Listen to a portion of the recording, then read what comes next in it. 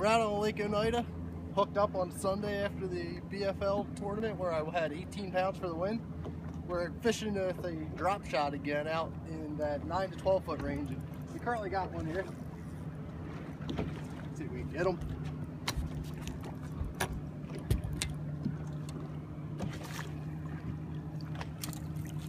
Not quite the same class as yesterday, but you can see where that Gamakatsu split shot drop shot hook got him right in the top of his mouth to where you always end up hooking him with that and hard time for him to come off that way.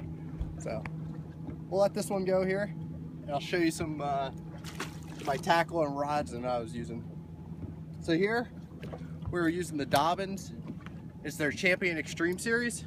It's a DX 702 SF, which is their medium action uh, drop shot rod with the hook, like I was showing you before, that buttons them up right in the roof of their mouth is the size 2 split shot drop shot Gamakatsu And then I use a Eco Pro full contact uh, drop shot weight here. And I leave with it about a 12 to 14 inch leader.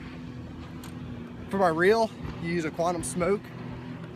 It's a fast uh, reel action here. So it helps you catch up with those small, especially when you're fishing out deep, which is gonna be great for up at the Oneida Costa.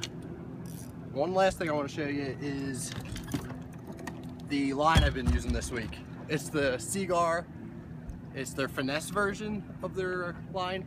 It's 7.3 pounds and it's 100% fluorocarbon. That lighter line is let for uh, more bites and helped definitely catch more fish this week.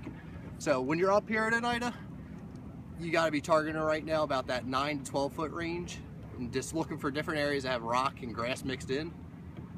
So if you have any questions later this week, let me know. Thanks.